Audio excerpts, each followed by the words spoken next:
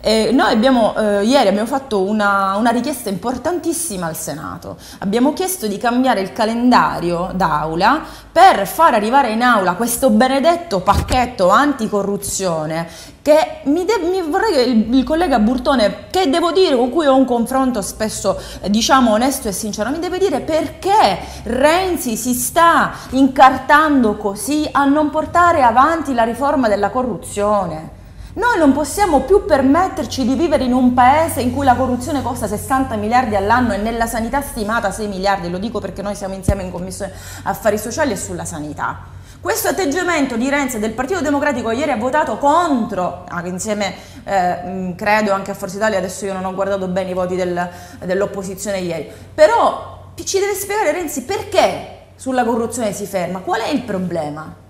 Allora abbiamo proposte di legge ovunque, abbiamo proposte del governo, proposte del, del, Partito Democratico, proposte del Presidente Grasso, proposte del Movimento 5 Stelle, penso ci sia anche qualche proposta dell'opposizione, non ci vorrebbe tantissimo. Il blocco della prescrizione, reintrodurre il falso in bilancio e, e aumentare le pene di corruzione e concussione. E invece rimane affossata al Senato. Allora noi vogliamo capire perché il Partito Democratico entra in questa contraddizione palese di fronte a quella che è un'esigenza, penso,